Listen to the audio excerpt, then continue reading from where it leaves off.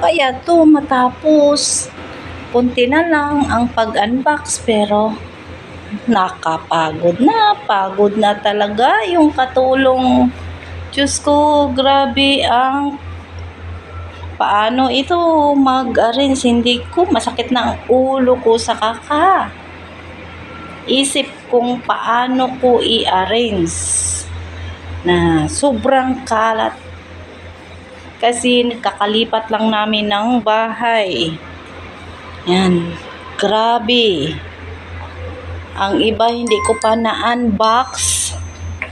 Sobra. Napagod na talaga ako.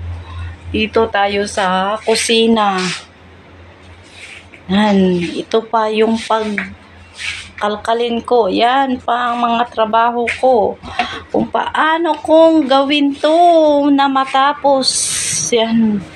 Yan ang iitatapon niya. Grabe, itatapon lang yan.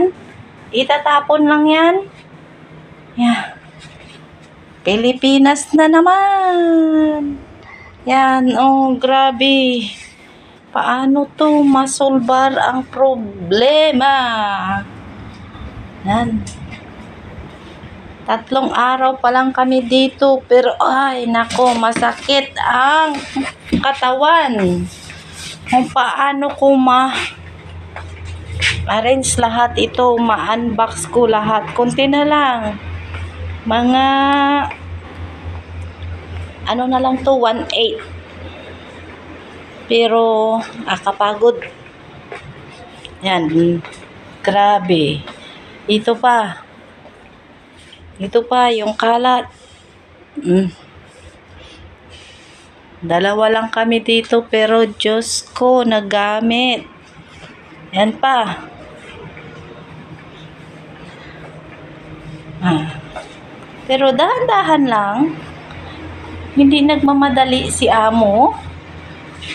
Naintindihan ako ni amo kasi masakit ang katawan.